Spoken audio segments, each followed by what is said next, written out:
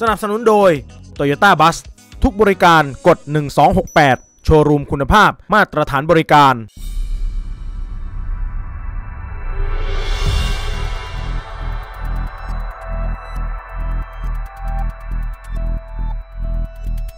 แกนนำพักก้าวไกลนางอมรรัตน์โชคประมิตรกุล พสต์เฟซบุ๊กชี้แจงกรณีการเคลื่อนไหวของกลุ่มทะลุวังที่เกี่ยวข้องกับตน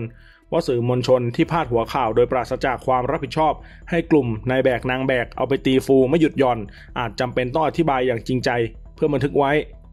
การให้สัมภาษณ์ครั้งนั้นที่ตึกไทยซัมมิตเมื่อต้นเดือนสิงหาคม 2566 ดิฉันพูดว่านักกิจกรรมช่วงหลังมีกลุ่มใหม่ๆ เกิดขึ้นมากมายหลายกลุ่ม ดิฉันรู้จักไม่ครบทุกกลุ่มไม่ครบทุกคน แต่ที่คุ้นเคยคือกลุ่มแรกๆ เช่น เพนกวิน อานนท์ โตโต้ ตอนนี้โตโต้และหลายคนก็มาเป็นสสพักก้าวไกลแล้ว ดิฉันไม่เคยพูดว่าไม่รู้จักกลุ่มทะลุวัง ข้อเท็จจริงคือรู้จักแต่ผิวเผิน เห็นตามกิจกรรมการเมืองบ้าง เคยได้เบอร์ของบุ้งมา ช่วงที่ไปเยี่ยม ตะวันแบม อดอาหารหน้าศาล ขอเบอร์มาเพื่อจะไถ่ถามอาการคืบหน้าของตะวันและแบม เมื่อมีเรื่องยกเกิดขึ้นเป็นข่าว จึงโทรไปถามบุ้งว่าทำไมแม่หยกถึงไม่พาลูกไปมอบตัว แล้วนัดคุยกันเรื่องนี้แบบเจอตัวหนึ่งครั้ง เพราะสงสัยเรื่องแม่หยกมากๆว่าหายไปไหน จะให้ช่วยอะไรหรือไม่เพื่อให้หยกเข้าเรียนได้ การคุยครั้งนั้นดิฉันแนะนำไปว่าถ้าประท้วงวิธีรุนแรงอาจทำให้เสียแนวร่วมการต่อสู้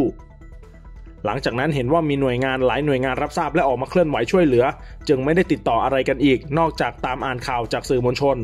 ก่อนหน้านี้นาอมรรัตน์เปิดเผยว่ากรณีที่พักเก้าไกลได้สสจังหวัดระยองเพิ่มมาอีกหนึ่งเขตพักเก้าไกลจะได้ประธานกรรมธิการเพิ่มมาอีกหนึ่งคณะ จาก 10 คณะเป็น 11 คณะ ที่สำคัญจะทำให้พักสามารถเสนอแก้ข้อกฎหมายสำคัญได้เลย โดยไม่ต้องไปพึ่งพาพักการเมืองอื่นนางอมรรัตน์บอกว่าขณะนี้สารรัฐธรรมนูญมีคำสั่งให้นายพิธาลิมเจริญรัตน์หัวหน้าพักเก้าไกลหยุดปฏิบัติหน้าที่สส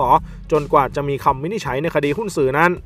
กกตกลุ่มงานสอบสวนได้เสนอความเห็นมาแล้วว่านายพิธาไม่มีความผิด หลังจากนี้ทางกกตก็คงจะส่งเรื่องให้ทางสารรัฐธรรมนูญ เพื่อพิจารณาวินิจฉัยให้กลับมาปฏิบัติหน้าที่ตามเดิม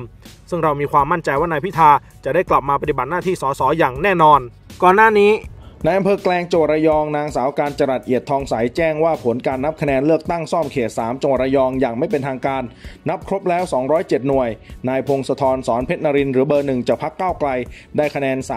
39,296 คะแนน ชนะนายแพทย์บัญญัติเจตนาจันทร์เบอร์ 2 ได้คะแนน 26,466 คะแนน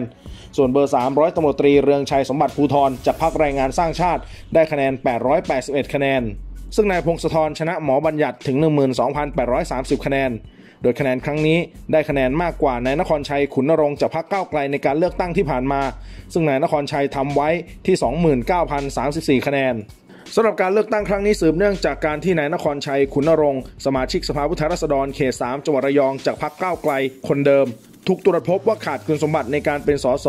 โดยพลตำรวจเอกเสรีพิสุทธิ์เตมียเวทหัวหน้าพักเสรีรวมไทยณขณะนั้นได้ออกมาเปิดเผย จากนั้นในเวลาต่อมา ณขณะนั้น นายนครชัยก็ได้มาโพสต์ข้อความผ่านทาง Facebook ประกาศลาออกจากตำแหน่งสมาชิกสภาผู้แทนราษฎร พร้อมระบุสาเหตุว่ายอมรับเคยติดคุก 3 ปี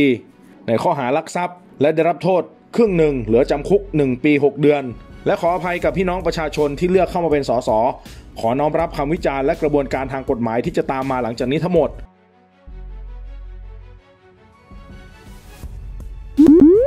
และว้าวใหม่ล่าสุด ใครอยากส่งกำลังใจให้ทีมข่าว Bright TV ปุ่ม Super Thanks หรือปุ่มขอบคุณ feature ใหม่ของทาง YouTube ได้ทางด้านล่างขวามือ Bright TV ขอบคุณค่ะ